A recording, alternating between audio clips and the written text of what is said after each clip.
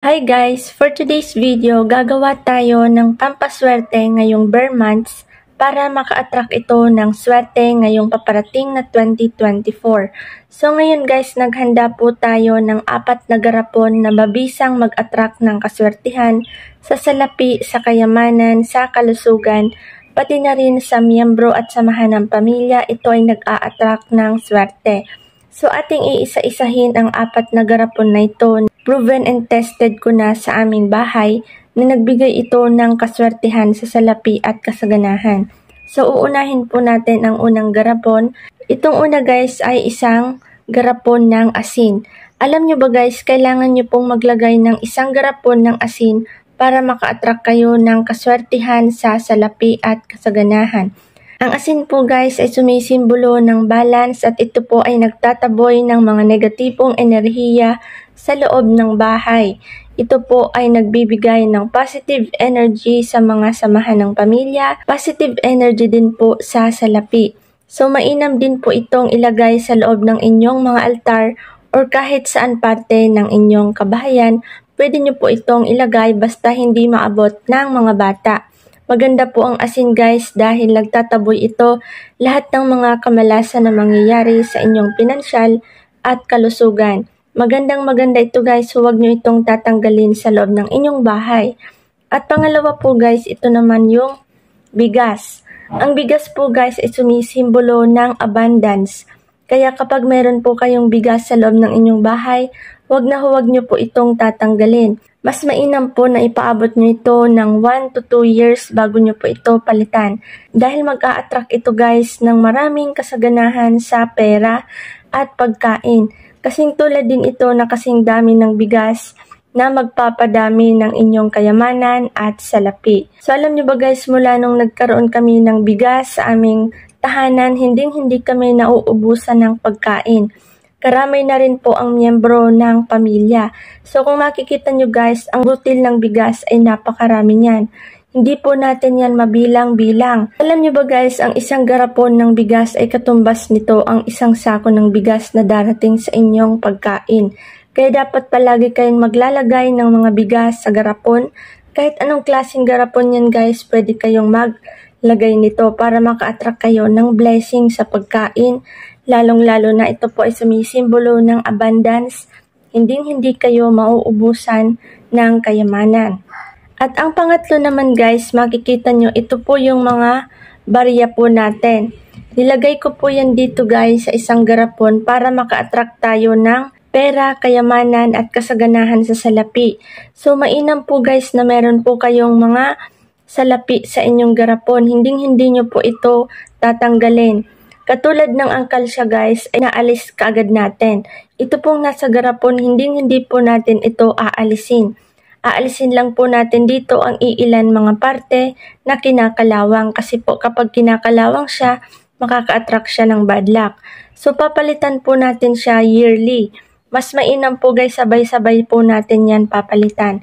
Ang mga barya guys na hindi nyo na ginagamit katulad ng 25 cents, mga sobra-sobra nyong barya, mga 5 piso, okay lang po yan guys. Yung mga luma nyong 25 cents, mga bagong 25 cents, yung mga maliliit na halaga, pwede nyo po yan ilagay dito para maka-attract siya ng salapi. Alam nyo ba guys, mula nung naglagay kami nito, hindi hindi kami nauubusan ng pera.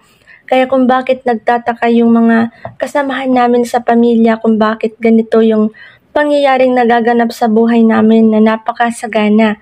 Dahil nga po yun dito guys sa apat na garapon na nagbigay swerte sa aming buhay. So kaya guys maglagay kayo ng mga barya sa loob ng inyong bahay para maka-attract kayo ng swerte. So kung hindi nyo kaya guys magbili ng ganitong mga garapon, maaari din kayong bumili ng mga maliliit na garapon kasing tulad po nito. Yang kahit ganito po kaliit, okay lang yan. Basta punuin nyo po guys. Ang importante po, punong-puno yan. Hindi hindi nyo po yan lalagyan ng maliliit or kalahati kasi hindi po yan masyado effective. Effective po yan guys kapag nilagyan nyo ng punong-puno. So, ang pang-apat naman po natin guys, itong water. Itong water guys, hindi po rin natin ito papalitan. Sabay-sabay natin yan papalitan.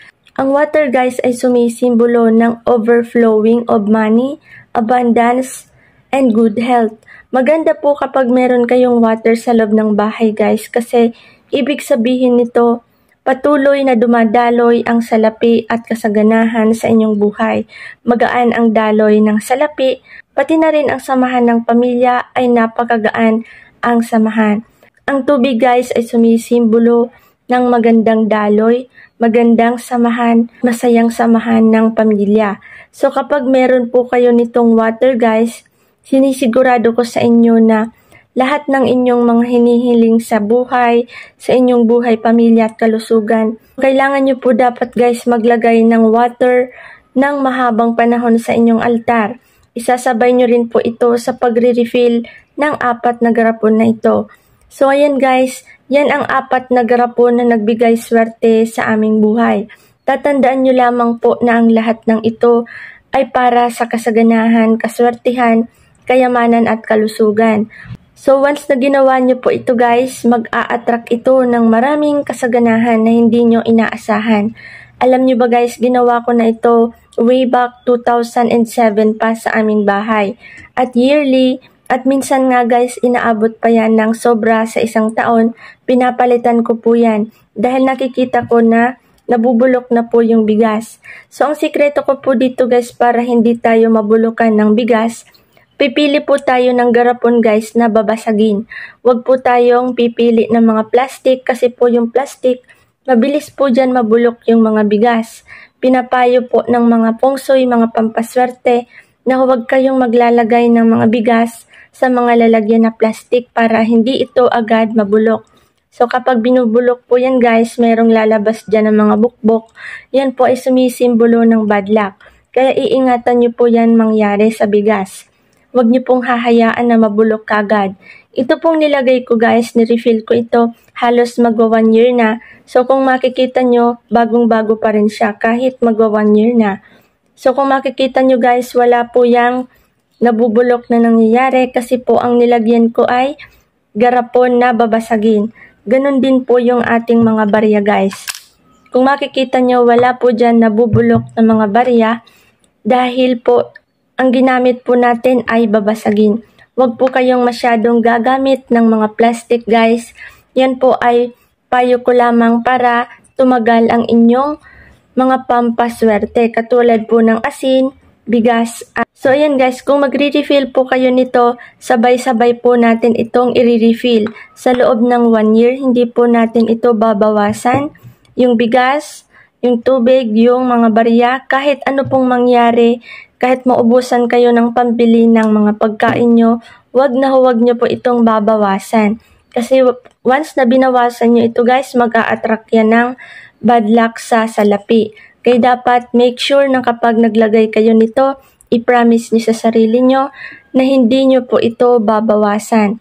So ngayon guys, ito po ang gawin nyo ngayong bare months para maka-attract kayo ng swerte sa Year of the Dragon 2024 lalong-lalo na yung mga taong mahilig or naniniwala sa mga pampaswerte dahil po ang Year of the Dragon ay sumisimbolo ng abundance, prosperity, and unlimited blessings.